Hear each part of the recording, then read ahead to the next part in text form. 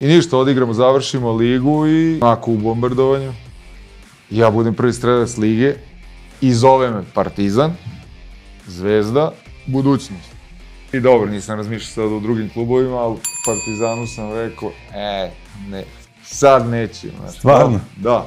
Zovu me i Grci, kao čoveče, ono, bombardovanje, prvi strelac je lige, odigrao si strava, imamo tvoje papire, kao, dolazi jebote.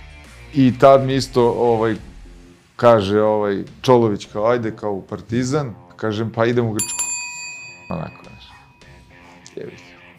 I onda mi je isto rekao kao, da, onda mi je rekao nećeš igrati za reprezentaciju, kao nešto mi pretio ako odeš, ovo, znaš. I stvarno tako je bilo. Nisam bio pozvan na širi spisak reprezentacije kao prvi strelac lige, što uvek bilo. Prvi strelac je lige uvek bio pozvan. Ništa, otišao sam u Grčku i u Aris, tada.